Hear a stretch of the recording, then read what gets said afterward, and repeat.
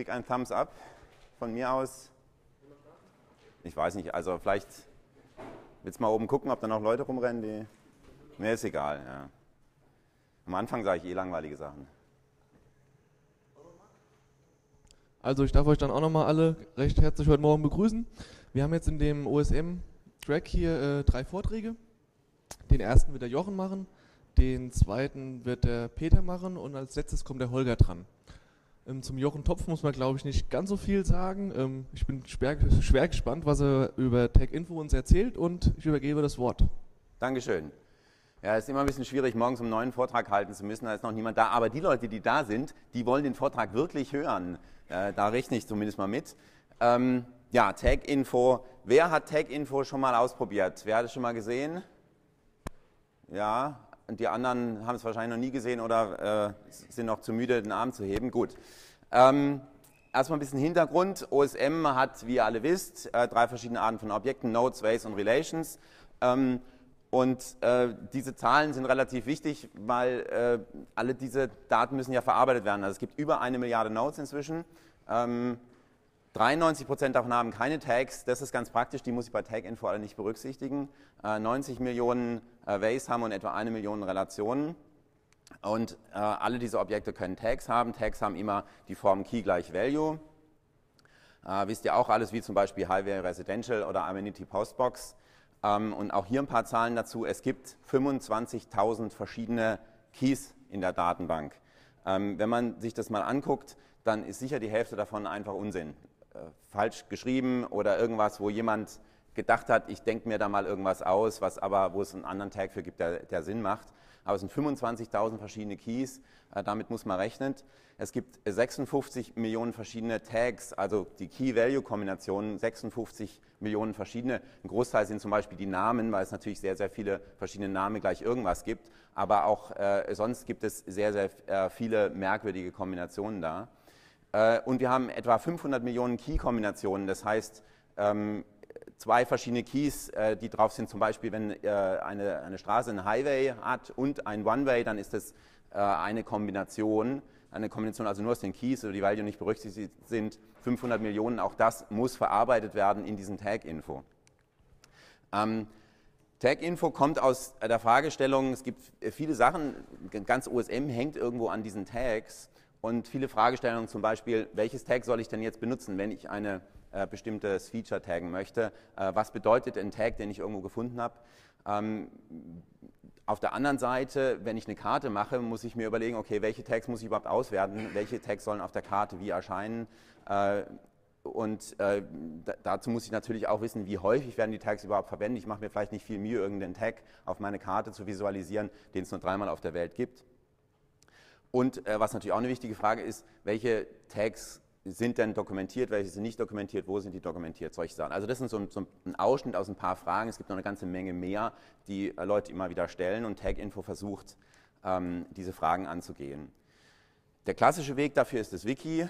Ähm, das ist die Map-Feature-Seite und zwar habe ich diesen Slide vor zwei Jahren für den Talk gemacht. Inzwischen ist die Map-Feature-Seite noch viel, viel größer geworden. Also das ist die ganze Seite, die man da sieht.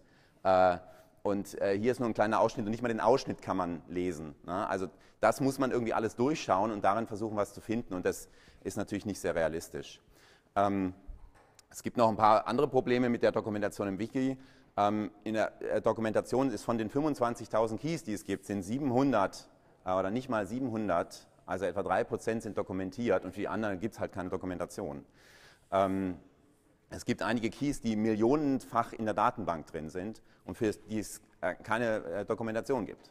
Ähm, und die Dokumentation, die es gibt, ist häufig veraltet und äh, unzureichend.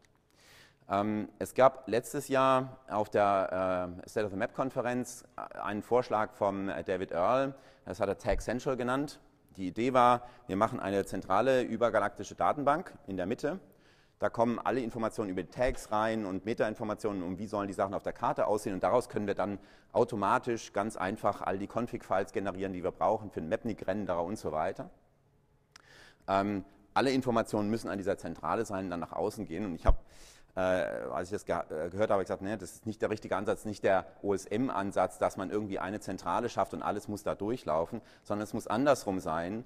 Ähm, jeder macht irgendwas mit den Tags, man schreibt Tags in die Datenbank, man schreibt im Wiki irgendwelche Dokumentationen, man konfiguriert seinen Renderer ähm, mit irgendwelchen Tags. Und Tag-Info soll dafür da sein, all diese Informationen an eine Stelle zusammenzufassen, damit ich sie sehen kann und äh, basierend darauf dann vielleicht andere Entscheidungen treffen kann und, äh, äh, und so weiter.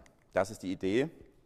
Das Ziel bei der Entwicklung von Tag-Info war, dass wir das Tag-Info alle Daten im Planet verarbeiten können muss und nicht irgendwie nur ein Ausschnitt eines Landes oder sowas. Also es muss schnell genug sein, um äh, mit, äh, und genug Ressourcen haben, um damit umgehen zu können, möglichst viele weitere Quellen, also jetzt zum Beispiel Daten aus dem Wiki und so weiter integrieren zu können. Es muss täglich aktualisiert werden können mindestens. Klar wäre es schön, wenn es irgendwie äh, direkt live passiert, aber das ist äh, dann doch unrealistisch.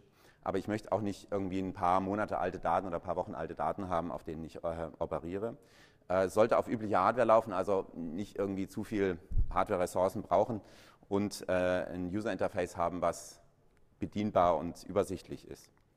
Ähm, es gab ja schon ein paar Leute, die ähnliche Dinge versucht haben, nicht ganz so ambitioniert äh, wie das äh, Tag-Info. Drei wesentliche Vorgänger gab es da, das TagWatch, das TagStat und OSM-Doc, die alle das Ressourcenproblem haben. TagWatch zum Beispiel ist äh, meines Wissens nicht in der Lage, den ganzen Planeten irgendwie durchlaufen zu lassen auf einem äh, halbwegs äh, normalen Rechner äh, in vernünftiger Zeit. Ähm, und äh, ja, also äh, da hatte ich aber jetzt schon, habe ich mir Ideen rausholen können und so weiter aus, äh, aus diesen Vorgängern. TagInfo verarbeitet im Moment im Wesentlichen drei Datenquellen. Äh, es holt die Daten aus der Datenbank, also aus dem Planet-File genauer gesagt. Äh, es importiert Daten aus dem Wiki und es importiert Daten aus, dem, aus der JOSN-Konfiguration. Ähm, hier etwas schwach äh, dargestellt habe ich noch die äh, Potlatch 2 und Mercator. Da habe ich angefangen, denen ihre Config äh, einzulesen. Das ist aber noch nicht fertig. Freue ich mich auch um, äh, wenn, wenn Leute da helfen wollen. Ähm, also all diese Informationen sollen ähm, in das Tag-Info rein. Von der Architektur sieht es so aus, ich habe verschiedene Datenquellen, wie jetzt zum Beispiel eben äh, die JOSM-Konfiguration, das Wiki, die Datenbank. Äh, ich lese diese Daten ein, die werden aufbereitet und dann werden die äh, äh, aufbereiten heißt äh, bei den Daten aus der Datenbank, dass ich Statistiken mache, all diese Sachen, diese Tags zählen und so weiter, das wird da gemacht. Und ähm, dann werden die Daten strukturiert in SQLite-Datenbanken abgelegt, was ich hier mal angedeutet habe mit den äh, Datenbanksymbolen hier, in SQLite-Datenbanken abgelegt. Daraus werden dann nochmal zusammenfassend Daten zum Beispiel für eine schnellere Suche generiert in der hier gelb dargestellten Datenbank. Und diese Datenbanken werden dann benutzt vom Webinterface. Äh, wenn, der, wenn der User also irgendwo draufklickt, dann werden diese Datenbanken abgefragt, weil das viel schneller wäre, jetzt irgendwie als direkt in den Quellen natürlich zu suchen. Also es braucht diese Voraggregation dieser ganzen Daten. Das ist der schwierige Aufwand, das äh, richtig zu machen. Und dann gibt es das User-Interface und es gibt auch eine Web-API, über die man äh, diese Sachen abfragen kann, wenn man das also automatisiert äh, von irgendwelchen anderen äh, Programmen aus machen möchte. Na? Ähm, was an Technologien dahinter steht, äh, wir haben einmal diese ganze Statistik, die gemacht werden muss, die also aus, den, äh, aus dem Planet-File, das Planet-File einliest und daraus diese SQLite-Datenbank mit den Statistiken erzeugt, die also zählt, welche Tags es gibt, welche Keys es gibt und so weiter. Das ist alles äh, C++-Code. Äh, das ist deswegen C++, weil es schnell sein muss und weil es wenig Speicher brauchen muss. Und wenn ich eine Hochsprache verwende, irgendeine Skriptsprache oder sowas, dann habe ich schon für einen einfachen Integer oder sowas, habe ich mehrere Byte Overhead, um den zu verwalten. Und in C++ habe ich das halt nicht und kann dadurch mit äh, wesentlich äh, ähm, äh, weniger Speicher auskommen. Das Ganze baut auf auf dem Osmium Framework, was auch von mir ist. Äh, das ist mal ein anderer Vortrag. Äh, sage ich heute mal nichts dazu. Äh, Datensammlung, Aufbereitung für diese äh, ganzen anderen Sachen, also zum Beispiel Daten aus dem Wiki rauszulesen, das sind irgendwelche Ruby-Skripte, Shell-Skripte, ein bisschen SQL und so weiter. Ähm, dann haben wir die Datenhaltung, habe ich schon erwähnt, die SQLite-Datenbank. Äh, das Webinterface äh, ist in Ruby geschrieben, benutzt das Sinatra-Framework, was ein relativ schlankes äh, Web-Framework ist. Webseiten mit jQuery, wie man es kennt, FlexiGrid für diese Tabellen. Äh, Protovis macht die äh, macht äh, die, die Grafiken, die, die, die Graphen, so Barcharts und was, äh, was ich da habe. Ich werde äh, die Sachen alle dann noch, noch mal zeigen. Äh, das Ganze läuft auf einem der Strato-Server, einem der Server, die Strato uns gesponsert hat, wird nächtlich aktualisiert, braucht etwa vier Stunden, um diese Aktualisierung durchzuführen und davon drei Stunden äh, für diese Statistik und den Rest für, für sonstigen Kram.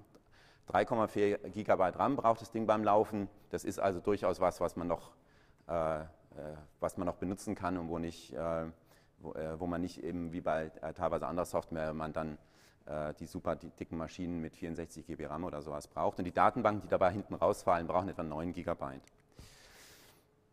Wenn man jetzt das User-Interface anguckt, fängt es äh, also an, äh, man hat auf der Homepage diese Tag Cloud, da gibt es eine geheime äh, magische Formel, die aus all diesen Daten, die ich da gesammelt habe, äh, diese Hierarchie ausrechnet und sich überlegt, welche Tags etwas größer äh, und welche etwas kleiner dargestellt werden sollen. Wer Lust hat, kann ja mal durch den Source Code graben und schauen, wie diese magische Formel sich zusammensetzt. Das Zeug ist ja alles Open Source, deswegen äh, kann man das rausgucken und vielleicht auch noch die kleine eine oder andere Optimierung hier anbringen. Würde mich freuen, wenn da jemand Lust hat, äh, damit zu spielen.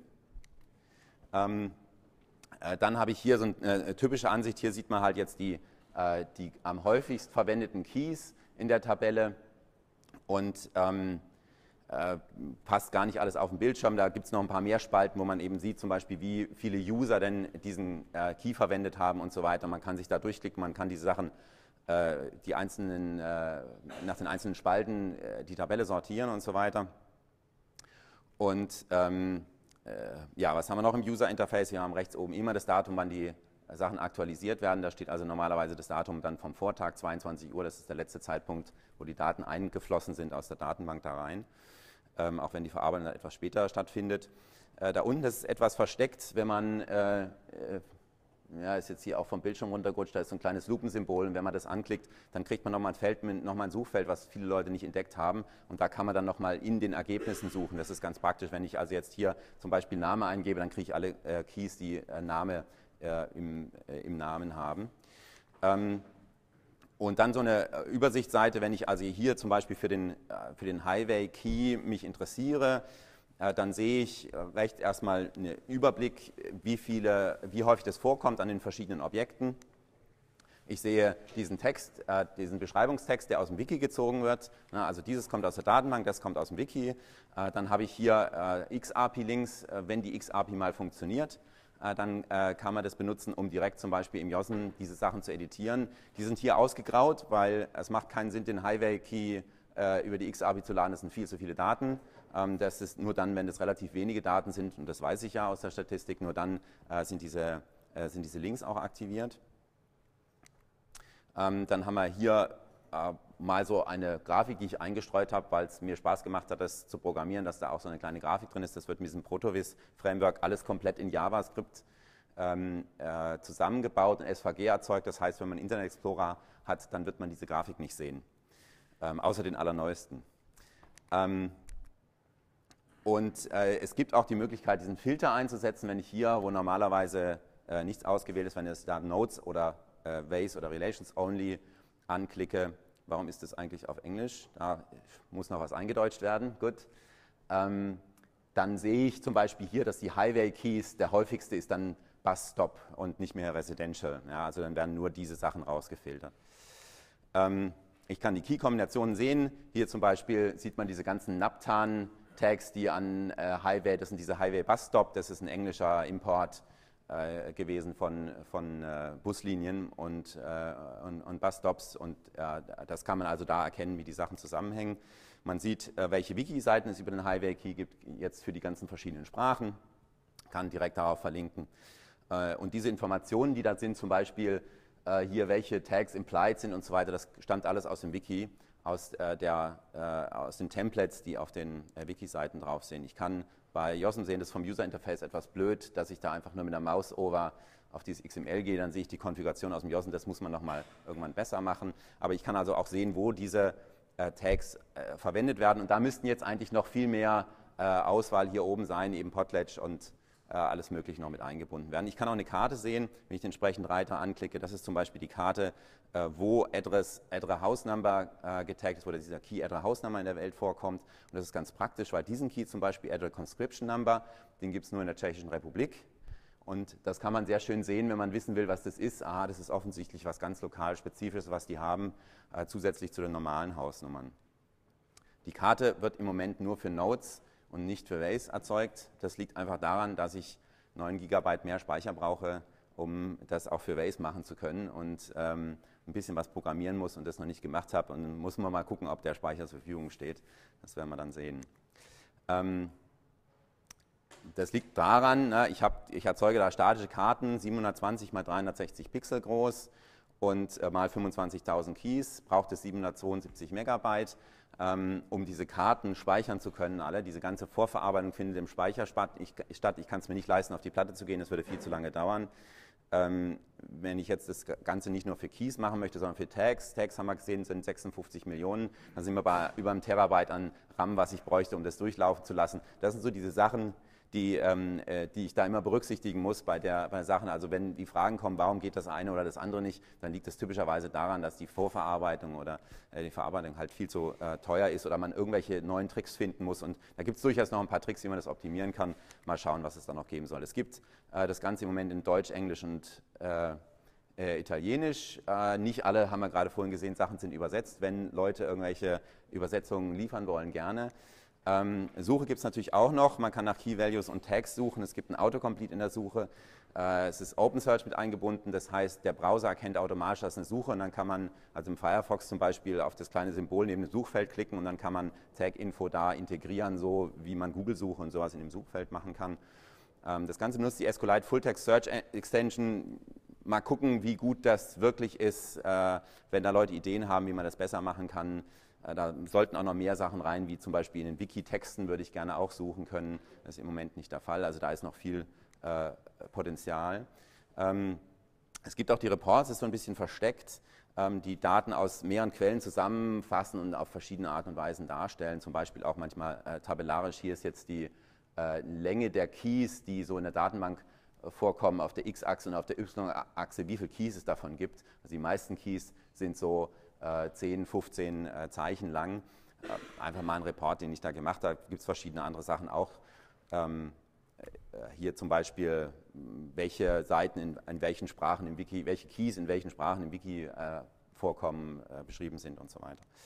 Ähm, es gibt eine API, wie ich äh, gesagt habe, über die man all diese Informationen, quasi alles, was in so einer Tabelle irgendwo bei Tag-Info erscheint, da gibt's, das kommt aus dieser API raus, kann jeder benutzen.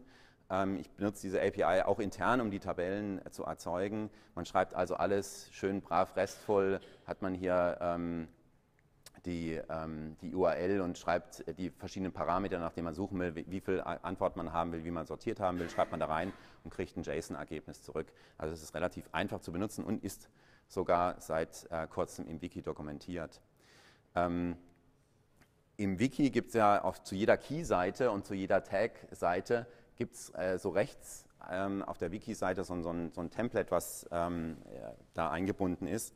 Und da ist inzwischen das Tag-Info eingebunden. Das wird also live über einen iFrame in die Wiki-Seite eingeblendet, sodass man gleich äh, an der Stelle schon ein paar wichtige Informationen sehen kann. Sehr auch schön, wenn man da vielleicht noch ein paar mehr Informationen äh, hätte. Muss man mal gucken, was man da äh, was man noch machen kann. Ähm, ja, es gibt noch eine ganze Menge, was man tun könnte. Ich habe zum Beispiel keine historischen Daten irgendwie verwendet. Äh, es wäre schön, wenn man äh, irgendwie in Grafik sehen kann, wann ist das Tag dann zum ersten Mal benutzt worden und äh, solche Sachen. Das habe ich ganz bewusst weggelassen, erstmal, weil es einen ganz anderen Aufwand erfordern würde, diese Sachen zu erfassen und zu tracken. Ähm, aber das sind alles Dinge, die man natürlich sich vorstellen kann, die man vielleicht gerne hätte. Geografische Aufteilung ist auch immer so eine Sache. Viele Leute sagen, ah, ich hätte es jetzt gerne nur für Deutschland oder nur für Portugal oder sowas. Ähm, grundsätzlich, das Tag-Info ist, wie gesagt, ist alles Open Source. Man kann sich das runterladen, man kann selber eine Instanz davon installieren, wo man dann statt den, äh, den Planet-File äh, durchlaufen zu lassen, eben seine, äh, sein eigenes Land nur durchlaufen lässt oder sowas. Äh, jemand in Irland macht es auch schon.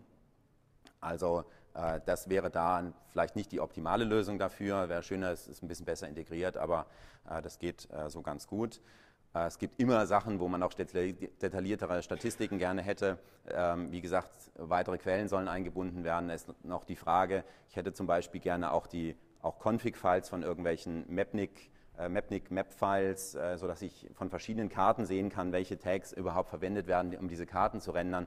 Das ist aber noch eine Frage, wie man das technisch überhaupt umsetzt. Wo kriegt man diese Style-Files her? Wie äh, macht man das? Äh, äh, dass, dass man da noch überhaupt irgendwas finden kann dann nachher, wenn ich da 10.000 verschiedene Style-Files habe oder sowas. Suche, wie gesagt, muss verbessert werden. Ähm, wir planen für den 7. 8. Mai in Karlsruhe einen Tag-Info Developer Workshop. Wer Lust hat, sich da zu beteiligen, entweder am Tag-Info selber äh, mitzumachen und das eine oder andere voranzutreiben äh, oder auch, äh, wenn jemand Tag-Info einbauen will in eigene Projekte. Zum Beispiel hat schon jemand gesagt, der überlegt, ob man das irgendwie in den JOSM einbauen kann. Ähm, solche Sachen äh, könnt ihr da gerne vorbeikommen. Informationen gibt es auf der entsprechenden Wiki-Seite äh, dazu. Dann werden wir mal schauen, wie wir es da voranbringen. Und äh, ja, dann bin ich am Ende meines Vortrags. Ähm, jetzt, ja, wenn Sie noch Fragen haben, wenn ihr noch Fragen habt, dann äh, wäre das die Gelegenheit. Dankeschön.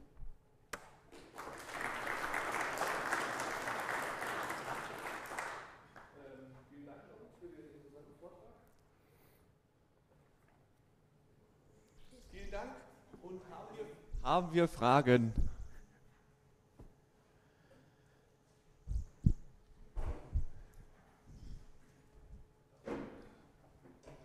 Naja, die wichtigste Frage hast du ja eigentlich schon vorab beantwortet. Frage habe ich schon beantwortet, okay, dann ist ja, ja einfach. Ja, nämlich, dass eine regionale Aufteilung sehr wünschenswert wäre, aber natürlich auch mit entsprechendem Aufwand verbunden ist. Ne? Ja, das äh, ist leider so, also was, was man kaum machen kann bei dieser Datenmenge, ist irgendwie zu sagen, ich speichere alle Daten nochmal für jedes der 200 Länder oder was weiß ich, die es in der Welt gibt, speichere ich die Statistiken getrennt. Ähm, das ist halt schwierig mit jeder weiteren Detaillierungsgrad, dass ich in, den ich in die Daten irgendwie reinbringe, habe ich natürlich das Problem, dass ich eine weitere Achse aufmache und dadurch äh, unendlich mehr Daten speichern muss. Also irgendwo muss man Kompromisse eingehen. Das ist aber, wäre jetzt für mich auch wichtig von euch zu hören, was sind denn die Sachen, die euch besonders wichtig sind? Welche Sachen fehlen denn? Welche Sachen sind in der täglichen Arbeit denn wirklich ein Problem, dass man guckt, dass man die Sachen reinbringt, weil alles geht halt nicht. Ja? Alles reinbringen kann man nicht. Und äh, bis jetzt habe ich so die Sachen reingebracht, die, die ich das Gefühl hatte, dass ich sie dass ich sie wichtig finde und äh, außerdem, dass ich sie lösen kann natürlich. Aber da bin ich natürlich auch auf Feedback angewiesen. Ich war auch schon mal auf deiner Seite und, und, fand die sehr informativ. Es gibt ja auch noch ein, zwei andere, die aber, glaube ich, nicht so, so viel Informationen hatten. Ein, zwei Wünsche hätte ich aber noch. Einer fällt mir davon ein, dass dieses gestapelte Barchart, was du auch da gezeigt hast, ja. das geht im Prinzip von oben nach unten, von den kleinen zu den großen Werten und rechts daneben ist die Tabelle, wo die gleichen Sachverhalte von den großen zu den kleinen, das ist ein bisschen counterintuitive, würde ich sagen. Äh, ja, danke für den Hinweis. Gut. War da rechts noch jemand? Kann doch nicht sein, dass es keine Fragen gibt. Dankeschön.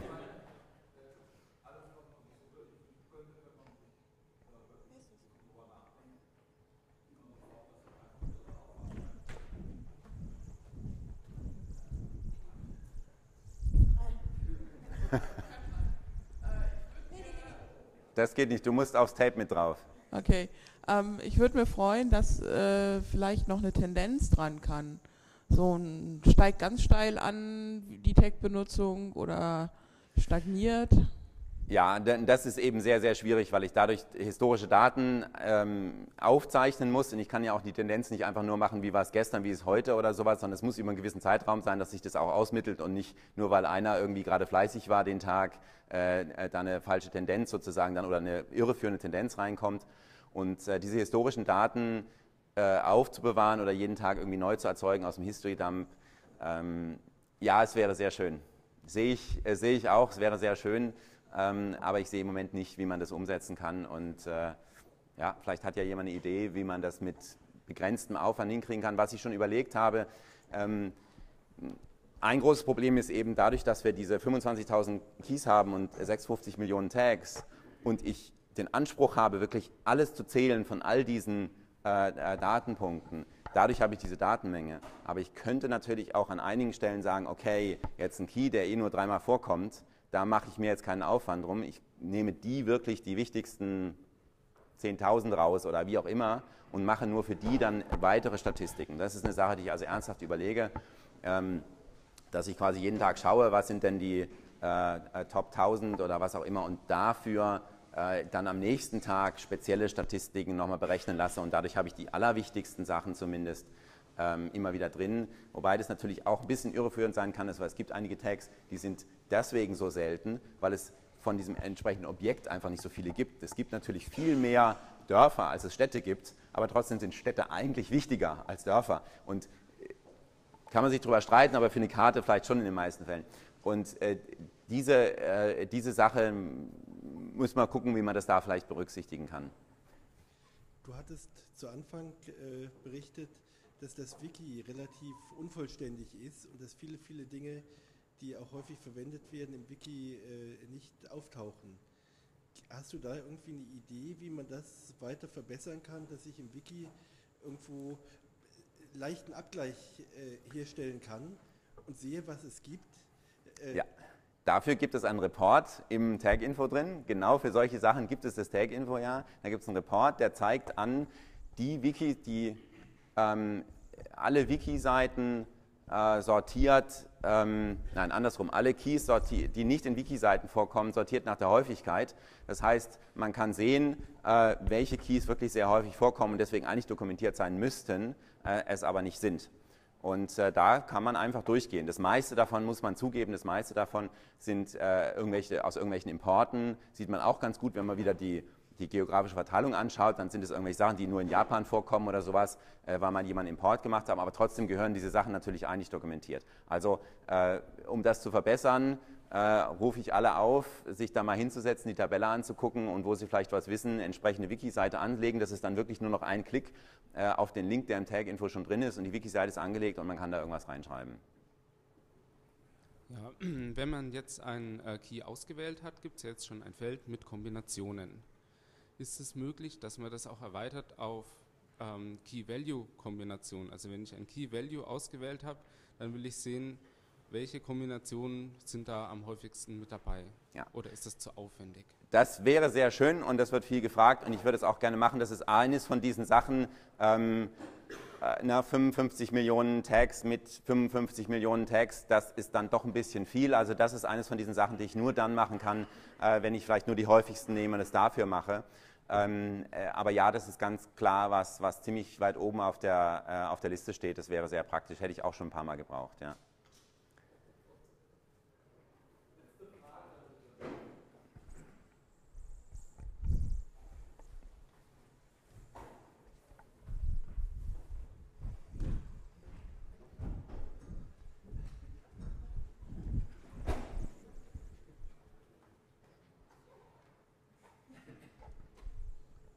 Nur so eine Idee, du, hört man mich? Ja. Äh, du sagtest, die häufigsten Tags einfach nehmen, um da genauere Statistiken zu machen. Jetzt ist Häufigkeit natürlich irgendwie wahrscheinlich das falsche Kriterium. Denn ich denke mir jetzt ein großer Import, zum Beispiel Tiger in den USA oder sowas, da ist ja, die Tags sind häufig, vermutlich extrem häufig, nehme ich an. Ähm, ein Kriterium könnte vielleicht sein, das Ding ist einmal geändert worden, äh, der Tag, und danach nie mehr angefasst worden. Ähm, die Frage ist, könnte man Wichtigkeit, die wichtigsten 1000 Tags, könnte man das nicht irgendwie crowdsourcen, nur so eine ins Unreine gesprochene könnte Idee. Man, könnte man vielleicht, ähm, ich meine, ich habe ja, äh, die, die Tag Cloud habe ich ja schon gezeigt, die ja auch genau das versucht, die wichtigsten Tag rauszusuchen und die in dieser magischen Formel ja auch Importe etwas nach unten bewertet. Ähm, äh, vielleicht kann man das einfach nehmen und daran noch arbeiten, diese Formel zu verbessern. Das Crowdsourcen würde bedeuten, dass, ja, man müsste ja irgendwie Leute fragen, dass sie irgendwie das anklicken, welche Tags ihnen besonders wichtig sind. Macht eigentlich, also ist Aufwand, macht auch wieder nicht viel Sinn,